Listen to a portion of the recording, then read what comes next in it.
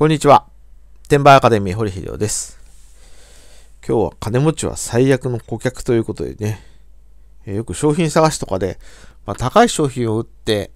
まあ、できるだけ高い商品を売った方が、まあ、利益を取りやすいということでね、えー金持ちが買えそうな商品を探すとかね、あるいは金持ち相手にすればいいのかなという方向に、えー走る人がいるんですけど、まあ、それはもうね、えー金持ちはなぜ金を持ってるかと考えればね、えー、99.99%金を使わないから金を持ってると。ね。中にはごくごく例外のね、えー勝手に持ってる土地から油が出てくるとかね、ダイヤモンド取れましたと言うんで、えー金持ってて金使うの好きって人いますけど、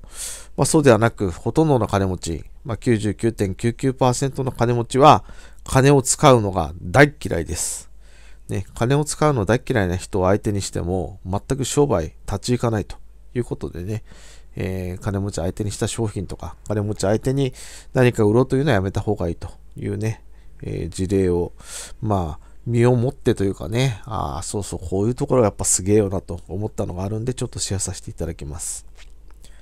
まあ、帝国ホテルでね、えー久しぶりにプール入ったらなんかね、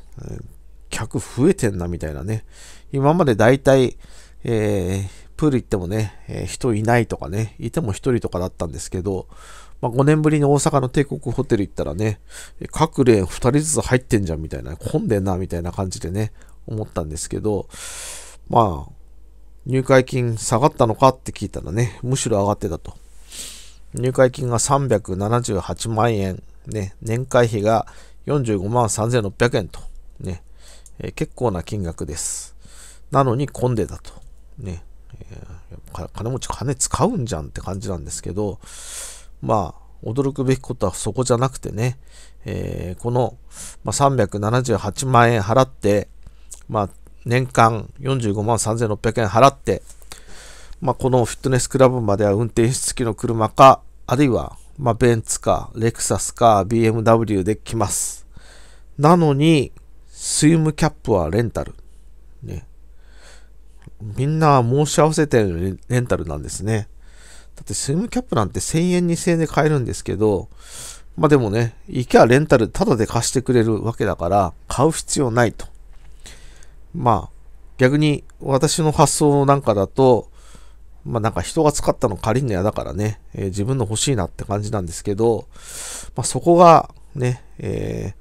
多少金が入ってきても使ってしまうか、あるいはね、金をどんどん貯めてどんどん大金持ちになるかの分かれ道なんでしょうね。えーレンタルでタダで貸してくれるのに買う必要ねえだろうと言わんばかりに、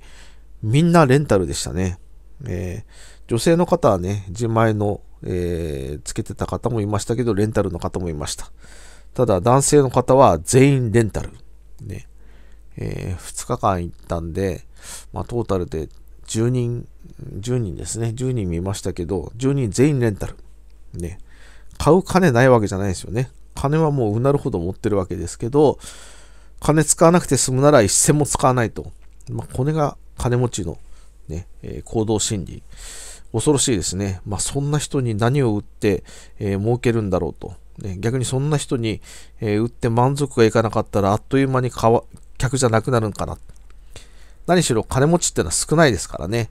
少ないとこを対象にして、商売は難しい。そして、えーへそを曲げられたら、えー悪い噂一気に広がって潰れると。まあ金持ち相手にね、商売組み立ててもいいこと何もないなというのをね、つくづく思いました。ね。だって、ね、ベンツ、レクサス、BMW、スポーツクラブまで1回来るガソリン代だけで多分キャップ買えるんですけど、必要ないから買わないと。まあ、このマインドですね。金持ちになるのに必要なマインドを持ってるから金持ちは金持ちになってると。ただ、ね、えーそんな、いらないもんもう買っちゃう人をね、対象に、えー売れる商品を見つけて売るのがね、えー儲けやすいやり方なんですけど、真逆ですよね。え金持ち、そら金は持ってて高いもんもね、買おうと思えば買えるし、必要性を感じさせてあげれば買ってくれるけど、すんごい難しいと。そうじゃなくてね、金入ってきたらすぐ使っちゃうとかね、ありもしないのに借りて使っちゃうとか、まあそういう人をね、え対象にした商品を売るのがやっぱり儲けやすいなというのをね、えー、つくづく痛感しました。これが直接的にね、オーストラリアアマゾンで何を売るかっていうのには関連してこないんですけど、